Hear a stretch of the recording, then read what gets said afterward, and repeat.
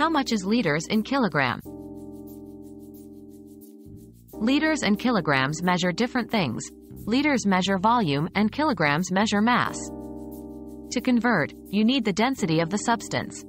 For water, which has a density of 1 kilogram per liter, 1 liter equals 1 kilogram. For other substances, the density will determine the conversion.